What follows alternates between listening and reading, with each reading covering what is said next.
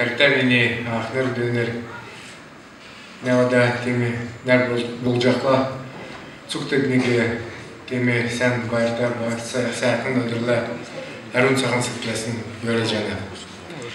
Дорогие мои земляки, дорогие лаганцы, дорогие джалыковцы, я искренне рад поздравить вас сегодня с праздником. Я несколько лет тому назад был у вас и, скажу откровенно, не узнаю. Не узнаю ваш родной сельский дом культуры.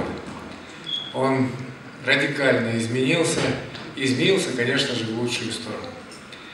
Сегодня у вас появляется совершенно новая возможность отмечать вместе праздники, проводить здесь свои семейные торжества, общие дни рождения. Для нашей детворы мы в скорое время сделаем здесь обязательно современный хороший кинотеатр. Для нашей детворы появляется возможность смотреть кино, заниматься в кружках, в секциях. И по-настоящему Жалыковский дом культуры станет очагом культуры. И самое главное, местом, где можно будет общаться с друг другом. В совершенно новых, красивых условиях. Я от всей души поздравляю вас, искренне рад за вас. Конечно же, в первую очередь хотелось бы поблагодарить строителей. Тех, кто сюда, в эти стены, вложил не только свой профессионализм, но и оставил здесь частичку своей души. Сегодня ремонт этого Дома культуры – это, безусловно, яркий пример успешного, эффективного сотрудничества с публичным акционерным обществом «Лукойл».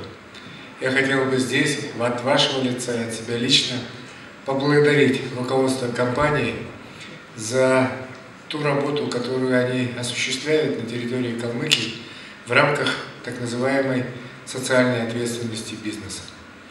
Сегодня в республике, вот на протяжении только некоторых последних дней и даже месяцев, мы открываем уже, практически сбился со счету, каждую неделю далеких разных уголках нашей Калмыкии либо новые сельские дома культуры, либо вот такие после капитального ремонта и реконструкции. Поверьте, это на самом деле так. От запада до востока, от юга до севера. Кумской, Соленая, Бергин, Харба. Это вот только последние дни. Сегодня у вас, в Джалыково. Наша республика огромная, очень большая. 76 тысяч квадратных километров мы вдвое превышаем огромный, богатый Краснодарский край. Наши населенные пункты равно удалены друг от друга в среднем на 60 и 80 километров. У нас есть населенные пункты, которые занесены в песках, которые лежат далеко от асфальтовых трасс. Но даже там сегодня мы ремонтируем, строим новые сельские дома культуры.